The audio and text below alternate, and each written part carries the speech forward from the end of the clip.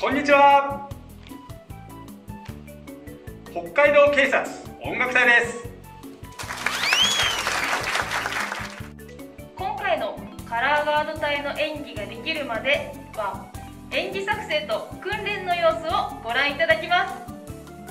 それでは早速演技作成の様子からどうぞ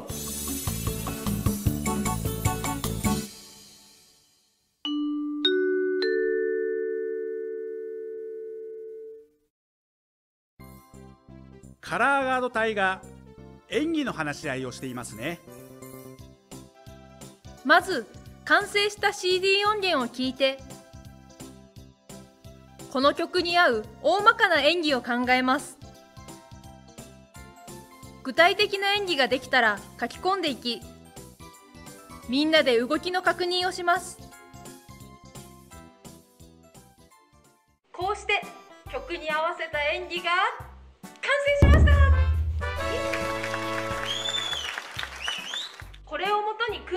行います。まずは4月の様子をご覧ください。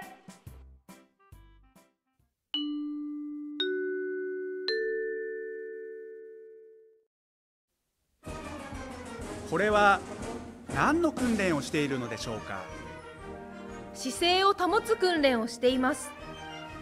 綺麗な姿勢を身につけることは演技を行う上で大切なことです。続いて歩行訓練の様子です。隊員が2人1組になりそれぞれの歩き方をチェックします。細かく見ていますね。姿勢のいい歩き方をしっかりと身につけることで自信を持った演技ができるようになります基本の訓練が一通り終わったところで実際にフラッグバトンを使った訓練に入ります。フラッグバトンの持ち方や回し方足の運び方振り付けなどを確認した後みんなで曲に合わせて訓練します。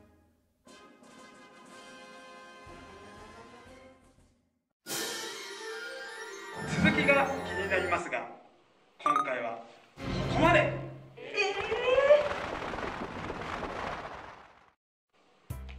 それではここで北海道警察からのお知らせです。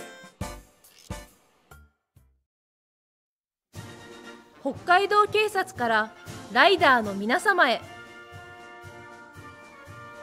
市街地では交差点での事故が多発しています。対向からの右折車や交差道路からの車両に注意しましょう。郊外部ではカーブでの事故が多発しています。カーブの手前で十分減速して慎重に走行しましょう。また万が一に備えヘルメットはもちろんプロテクターやエアバッグジャケットなどを着用しましょう。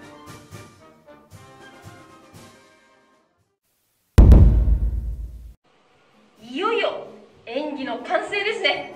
さてどのように仕上がるのでしょうか